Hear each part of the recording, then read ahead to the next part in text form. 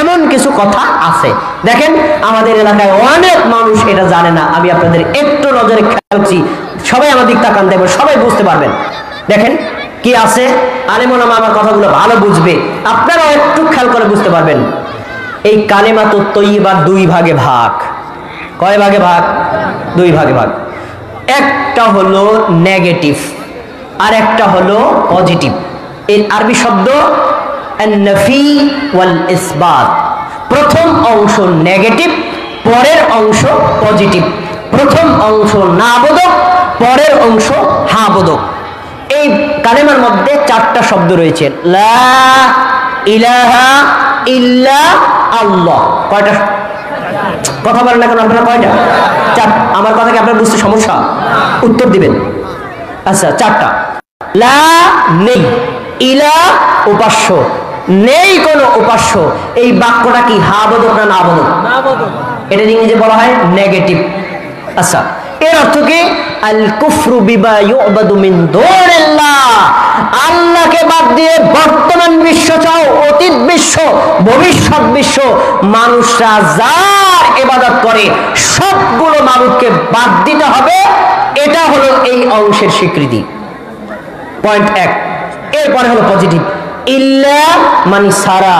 আল্লাহ মানে আল্লাহ। মানে সব মাবুদ বাদ একমাত্র মাবুদ থাকবেন কি?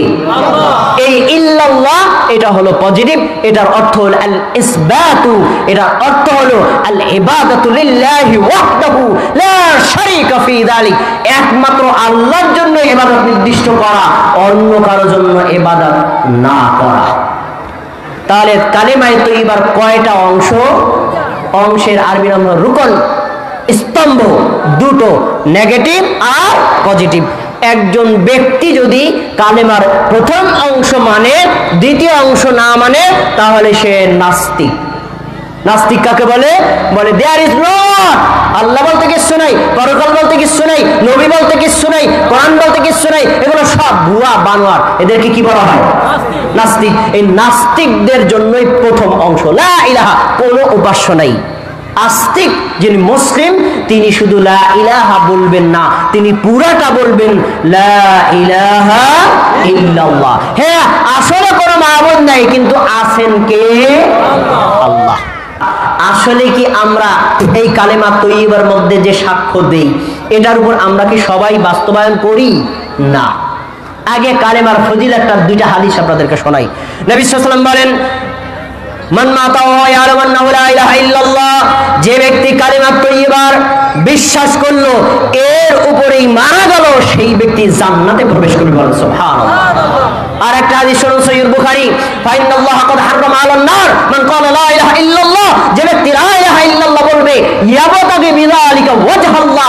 সন্তুষ্টির জন্য আল্লাহ তার জন্য আগুনকে হারাম করে দিবেন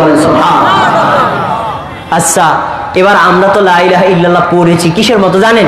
টিয়া পাখির মতো, ময়না পাখির মতো। ময়না পাখির কথা সেখানে কথা বলতে পারে, জানেন কিনা? জানেন না? ময়না পাখির শিকারেন বলো লাইলাহ ইল্লাল্লাহ। ময়না পাখি বলল ময়না পাখি মুসলমান হয়ে গেল? হ্যাঁ?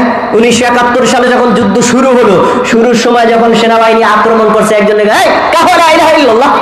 কাহ কালিমা তৈবা কাহানি বলো লাইলাহ ইল্লাল্লাহ? তখন হিন্দু কয় লাইলাহ ইল্লাল্লাহ। মুসলমান হয়ে গেছে? শুধু মুখে বললে হবে? এমন কোন হিন্দু নাই, এমন কোন বৌদ্ধ নাই, এমন কোন খ্রিস্টান নাই লাইলা ইল্লাল্লাহ, না জানে, না পড়ে। তারপরে কি মুসলমান হয়েছে? শুধু ইল্লাল্লাহ মুসলমান বললে হবে। কি করতে হবে? এটার হক বাস্তবায়ন করতে হবে। আটটা হক আছে। তার ভিতরে প্রথম অংশ হলো আল্লাহ ব্যতীত যত মাবুদ আছে সবাইকে অস্বীকার করা। আর দ্বিতীয় অংশ আল্লাহকে স্বীকার করে আল্লাহর জন্য এবাদত করা। এবার হবে পরীক্ষা। দেখি আপনাদের এই বিনোদপুরের অধিবাসীর মধ্যে শরীয়তপুর জেলার মধ্যে কয়জনই পরীক্ষায় পাশ করে?